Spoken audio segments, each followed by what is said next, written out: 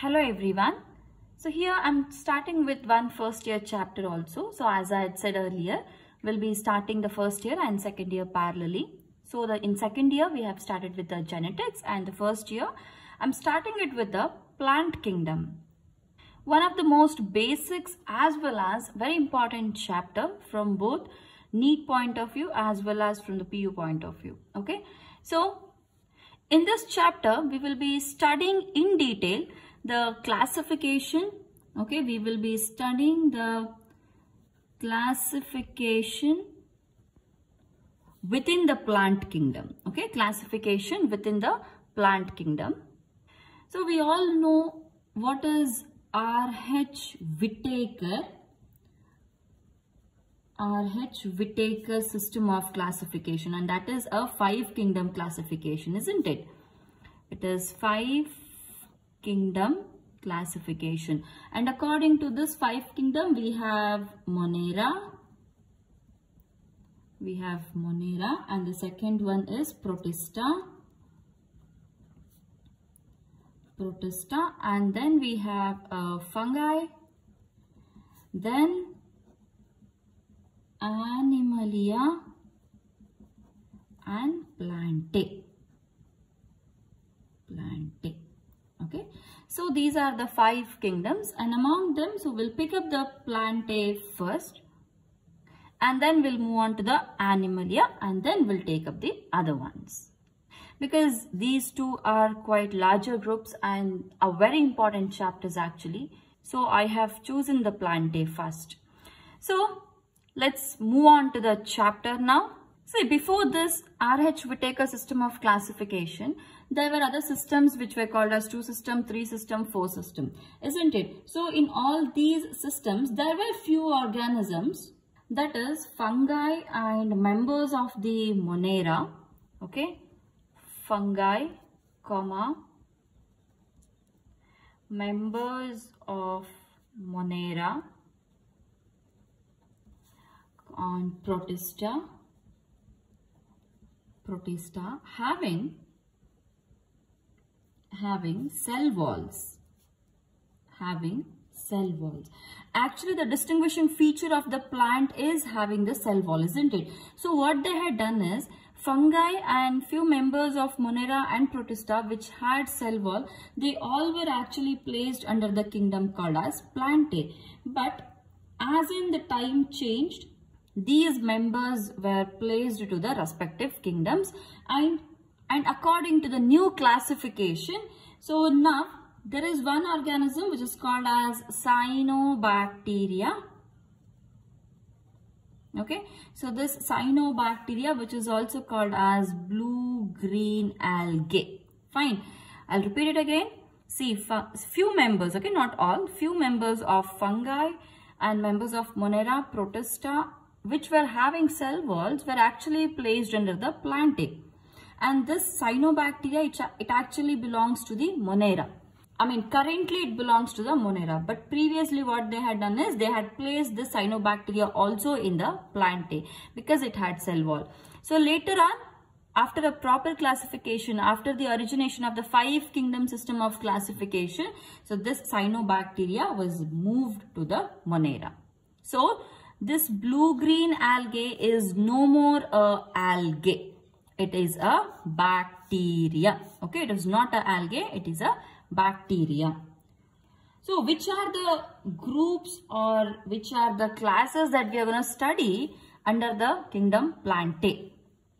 So, under plant kingdom, we will be studying, first one is algae, second one is bryophytes.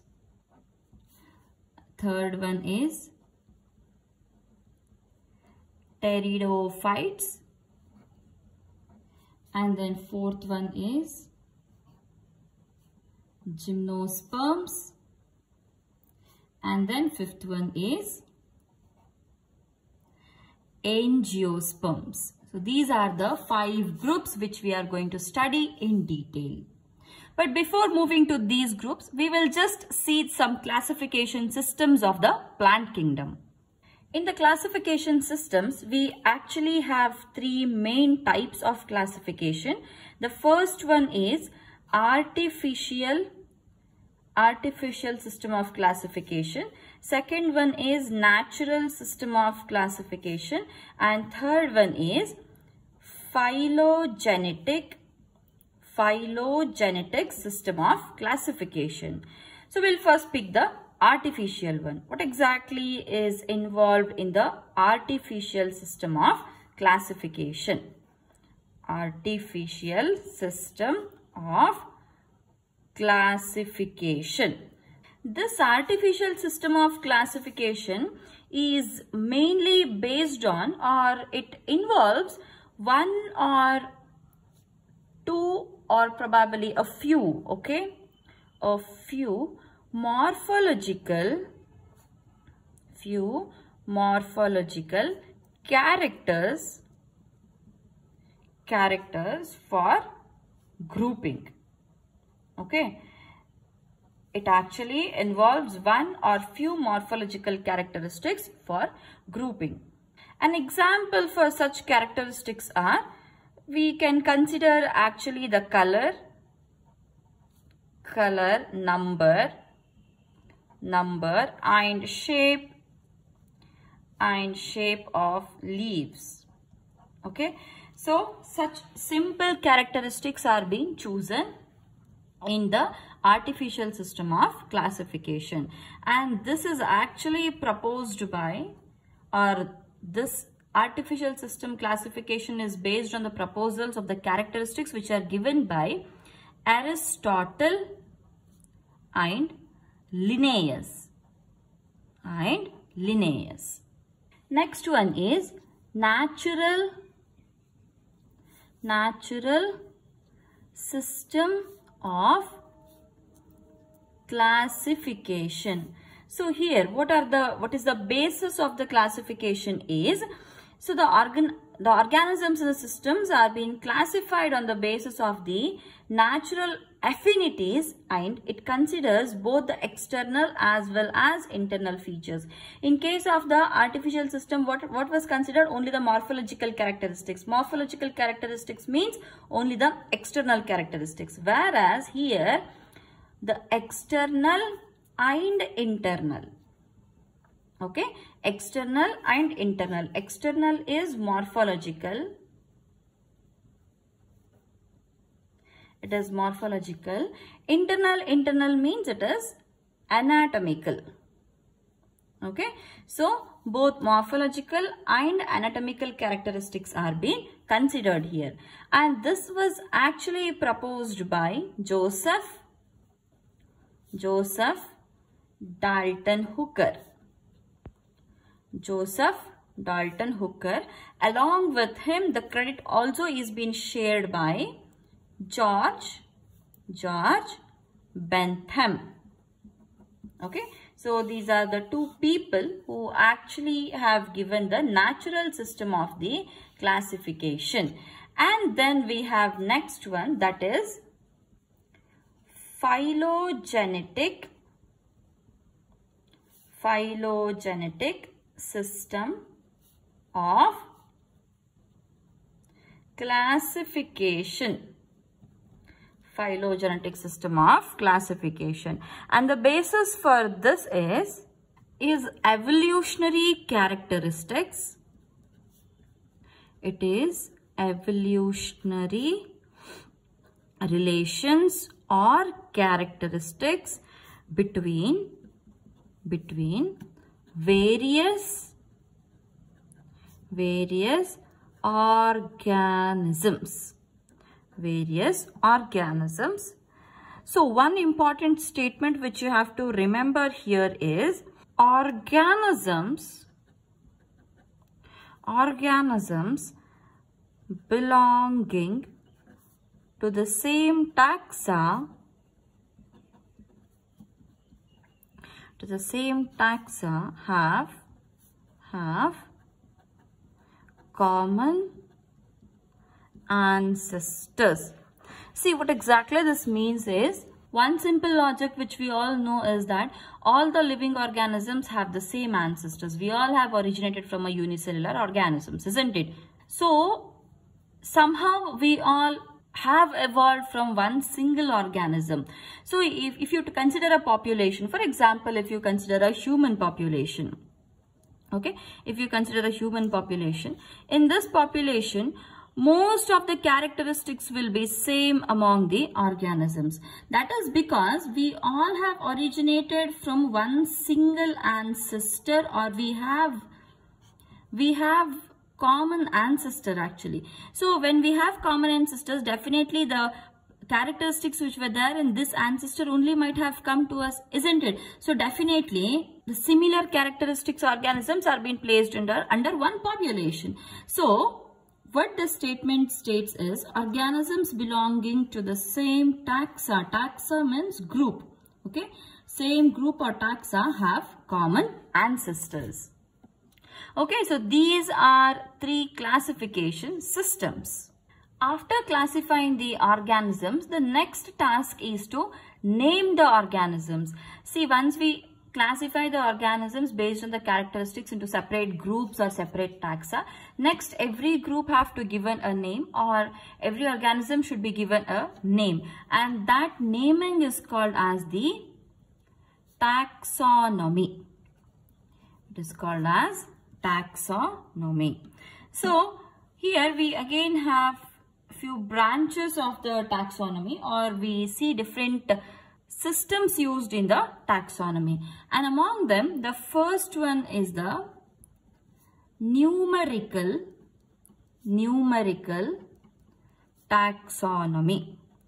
So what exactly this numerical taxonomy means is, so it involves the usage of the numerical methods.